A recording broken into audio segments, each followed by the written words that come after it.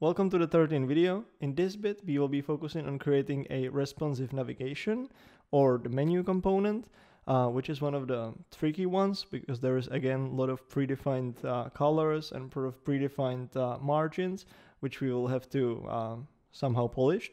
And uh, yeah, so let's look at that. The menu itself is adding some weird stuff here, uh, as you could see before when I was uh, opening the menu. You go here, open the menu, and now it's it's gray. And we didn't set up any gray, so we need to figure it out why is that. So Webflow itself, this component is adding and trying to help you sort of so you can see it appearing. So this one is uh, gray, obviously. We don't want gray. We want to have a white menu. So nav menu, we will do nav menu white and stuff is st starting to appear. We will do nav menu. What's this? What's the padding here? 35, right? 35. So we will do 35 on both sides. And then each link will have its own spacing. Let's do 10. Maybe we can also increase the size of those items so it's way easier to read them. This one is only one which is aligning to the left. and why is this centered? So, one thing which we definitely don't want to do is nav divide the language. I have 30, 38 pixels, so we want to do width 100% to still have the divider, but do height, height of 1, have 0, and 0 margin. Nice. We can increase the mar margin here as well though. 10.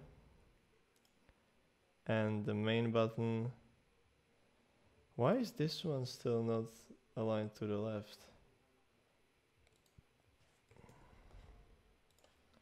None of them needs the, the, the margin to the right. Okay.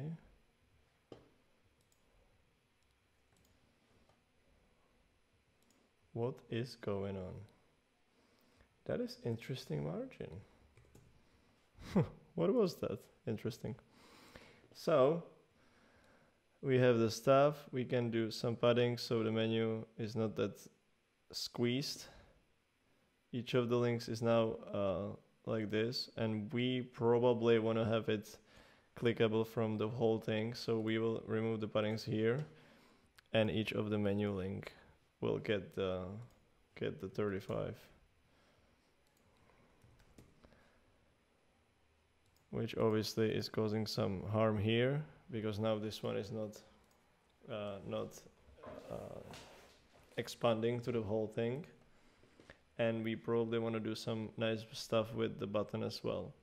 So let's figure it out how to do that. We want to have everything nicely white which we will do like this we will have vertical flexbox, which will put the coming soon below.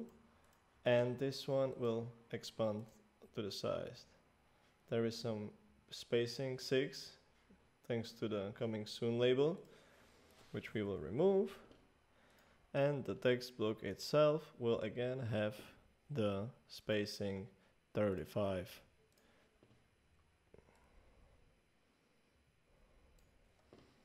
Awesome. This one will have 10, so we need to add spacing from the bottom as well. So we will have 10, so it's nicely next to each other. The coming soon can actually be slightly more to the to the to the thing. So it can be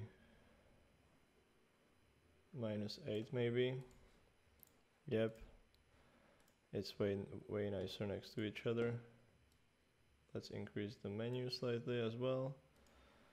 And then the last thing is the button, which we will put from size 35, but only in the menu. We don't want to do some crazy stuff with these buttons, with these buttons. So, how do we do that? We will apply a combo class to uh, join nav button and then do 35 from side and do some margins again at least five. And I would for the menu I think just for the purpose of that I would slightly increase the size so it's again easy easy easier for clicking on it. So I think that's looking really nice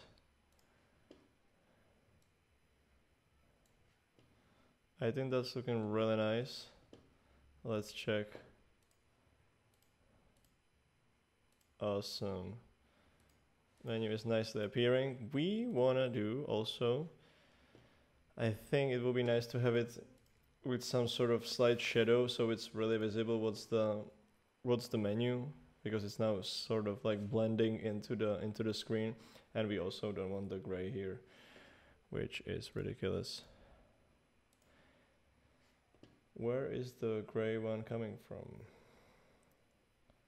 since this one is already transparent it's transparent now. Great. So but we want to as I said to have the either shadow or a or a border. I'm not sure which one is better but I guess in this case we can do, go with a shadow with a um, with a border maybe we can do two pixels so it's visible that it's coming from somewhere.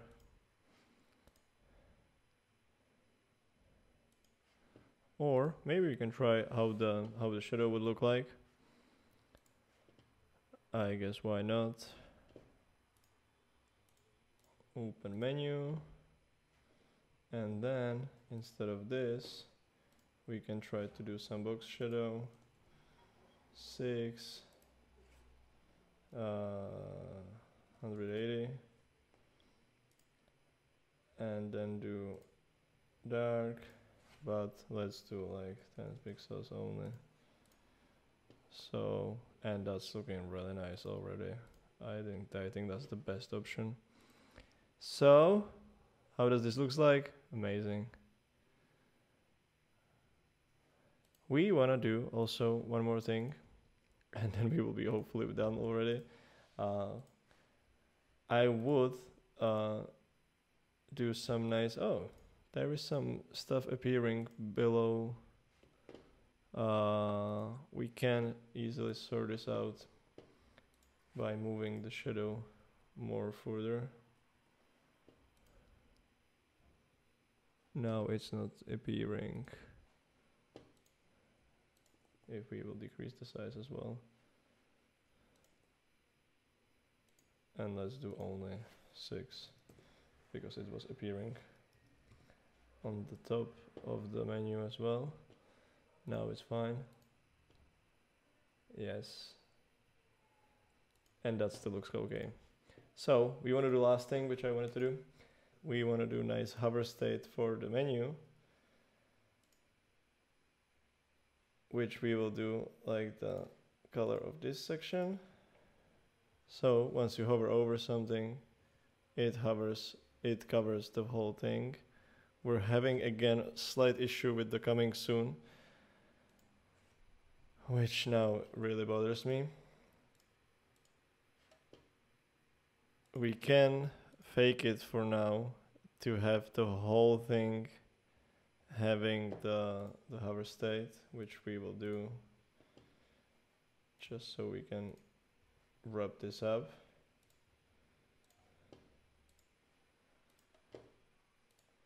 Let's see how that's gonna look. Yeah, it only covers the coming soon, so let's let's sort it quickly as well.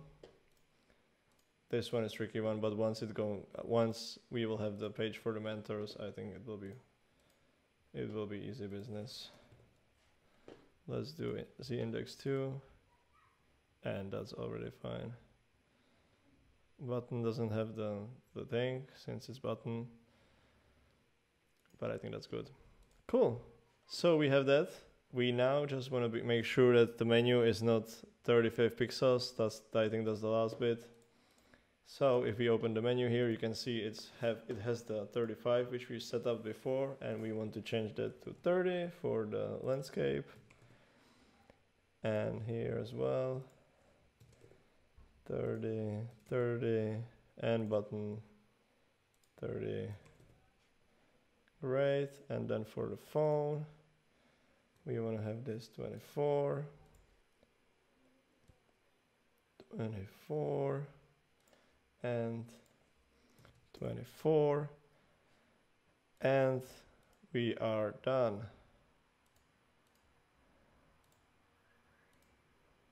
Love it.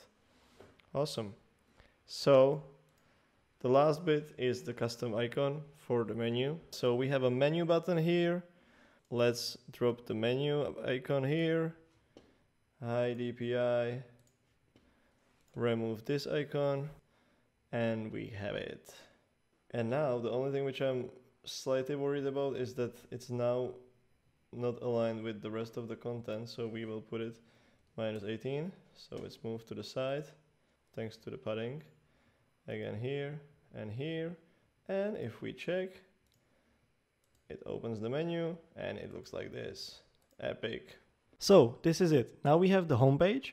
And uh, in general, this is how you can create simple website with all the breakpoints. In the next bits, uh, I'll be focusing on creating a uh, subpage called opportunities or internships.